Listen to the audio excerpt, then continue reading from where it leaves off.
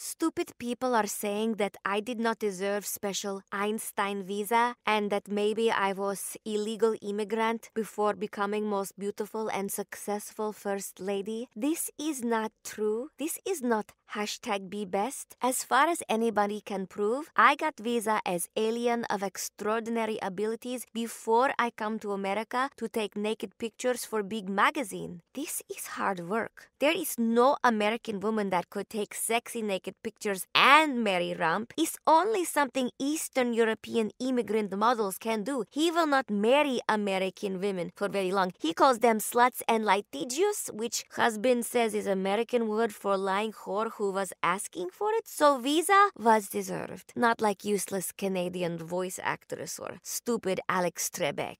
I'll take collusion for 500, Alex. Ooh, a daily double. Ronald Rump in the White House.